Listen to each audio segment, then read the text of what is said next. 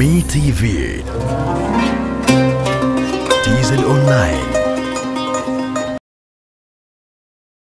Tukiwa hapa katika kituo cha uandikishaji cha Machomane Chake Chake, nimezungumza na afisa uandikishaji msaidizi katika jimbo la Awawi, Mariam Abdalla Muhammad, akieleza zoezi hilo linavyokwenda.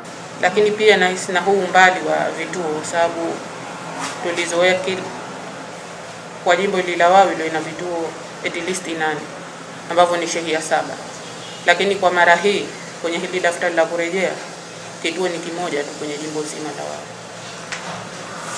Ina maana watu watatoka masafa marefu, ukizingatia usafiri na Ramadhani, lakini pia na haya maradhi, ina maana itakuwa ni vigumu sana kwa kufika hapo kwa wakati. Hamisi Idi Songoro ni miongoni mwa masheha aliyoshiriki kwenye zoezi hilo wilaya ya Chake Chake, na hapa akielezea uandikishaji huo katika eneo lake. Bila ya share mtu automatically inajua kwamba huwezi kumtoa mtu mfikiwa ukaambia aje Machomani, umtoe mtu kibokoni ukaambia aje Machomani, umtoe mtu Gombani aje Machomani. Ni ni usumbufu, lakini ni mpangilio uliokuwa wenyewe shapanga taratibu zao zilikuwa umeshaziona, waondoshe vituo vyote, waweke kituo kwa jimbo, basi hiyo ni amri inakuwa kwa utendaji inakuwa ni nini? Amri. Na kama ni amri, huwezi kusema kwamba ni usumbufu, uitekeleze. Imefikia nusu umetekeleza, imefikia robo umetekeleza, lakini umetekeleza. Akizungumzia zoezi la uandikishaji kisiwani Pemba, mkurugenzi wa huduma za kisheria Tume ya Taifa ya Uchaguzi NEC Emmanuel Kawishe amesema licha ya kuanza kwa upole na vikwazo vya hali ya hewa pamoja na janga la ugonjwa wa korona, lakini zoezi hilo linakwenda vizuri. hali ni nzuri, ila ukiangalia siku ya kwanza ilianza ilianza na mvua. Sasa kwa sababu hiyo, at least watu wengi hawakuweza kujitokeza sana, ila kwa leo kwa kweli watu wamejitokeza.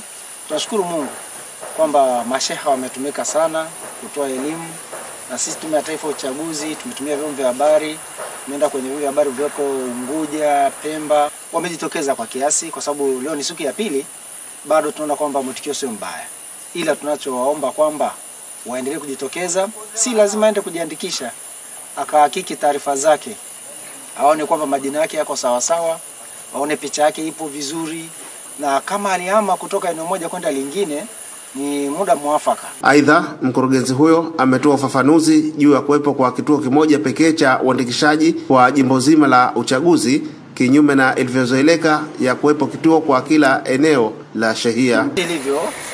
Tume kawaida huwa inaweka katika kila kituo ambacho iliandikisha, inaweka kituo pale cha kuweka daftari wazi na pia awamu ya pili.